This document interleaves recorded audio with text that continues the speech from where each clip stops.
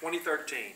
We're in the sanctuary of Central Baptist Church, and we're going to try the first Noel. We do want to thank Versi for the videos that she's doing for us, all the hard work she puts in, and we're going to do this in the gear of D.